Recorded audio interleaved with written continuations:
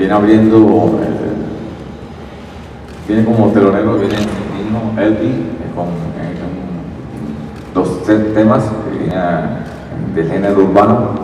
tengo invitado con Majida Isa, también estará a mitad del show, estará también Cristian del grupo 5 con, con, tres integrantes del grupo 5 ahí que, estarán en escena también.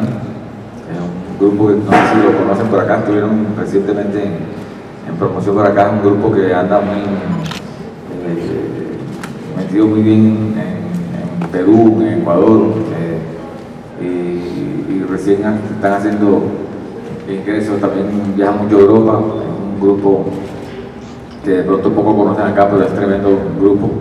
Tuvimos también una, una recientemente una gira con ellos allá en, Perú.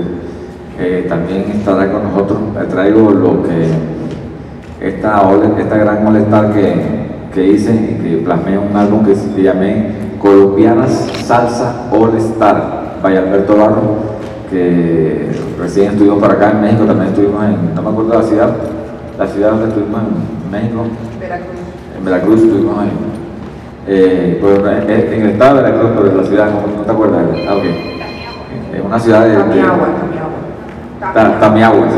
Estuvimos allá, el primer concierto de, de colombiana salsa de ahora estaremos eh, visitando a, Ecuador y, Perú. Esta es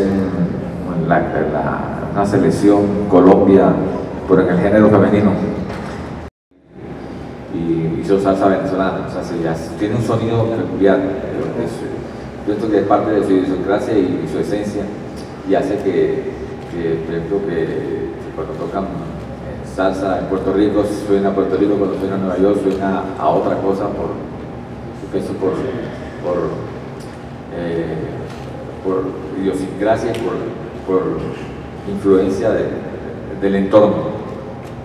Entonces, eh, yo creo que eso pasa con la cumbia.